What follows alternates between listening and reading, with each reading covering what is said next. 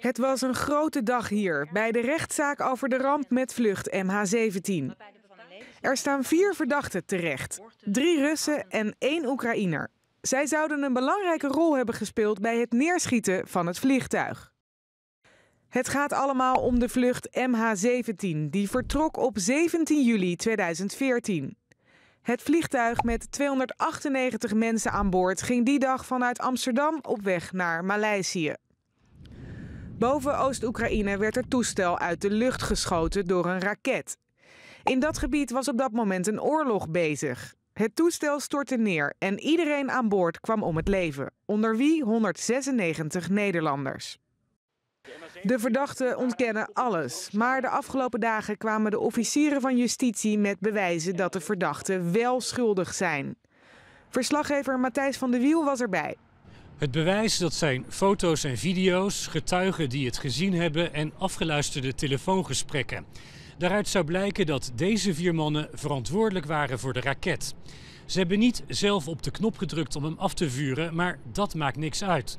Want ook als je iemand anders iets laat doen wat niet mag, ben jij verantwoordelijk.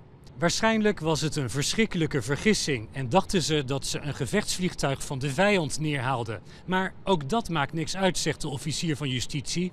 Ze wilden een vliegtuig neerschieten en dat mag sowieso niet.